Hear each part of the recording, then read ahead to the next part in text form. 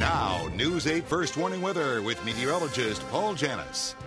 It's going to be a cloudy day, and we've got quite a bit of moisture that's been riding up along the Appalachians over the last uh, 48 hours. Finally, the second area of low pressure will pass off to our south overnight, but not before then getting plenty of uh, rain for our area. So the rain showers will continue to build in towards the coast today as the frontal boundary starts to move a little bit closer towards uh, the coastline. And all of the rain, the heaviest rain showers and heaviest precipitation for the overnight, will be focused between these two areas of low pressure and that frontal boundary as it approaches through the overnight hours. Now, by this evening, we're going to have sections of northern Maine up in the county and northern Franklin County and sections of north northern Vermont, they'll be getting into some snow showers, believe it or not. And then we get the second area of low pressure that's going to pass over New England, uh, southern New England, and that warm front getting a little bit closer to the cold front is really going to focus a lot of energy and moisture along parts of the coastal sections, and that could give us a few thunderstorms by mid morning tomorrow. So we'll keep you posted on all latest here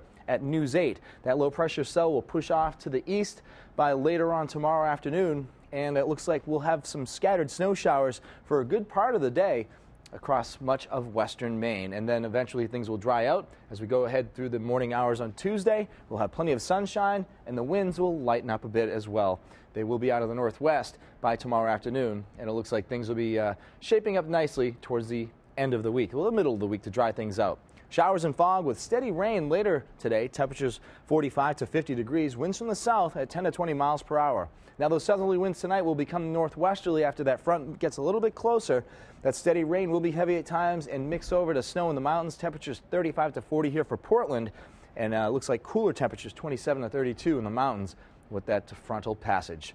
Forecast for tomorrow showers to the south, and then some mountain snows taper off midday, temperatures 37 to 42, and lingering snow showers thereafter into tomorrow evening. The seven day forecast, we start to dry things out and cool it off for the middle of the week with near seasonable conditions.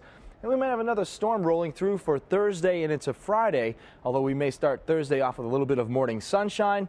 Looks like a rain to snow event for Friday into, into early Saturday. And next Saturday, looks like we kick off next weekend with plenty of sunshine.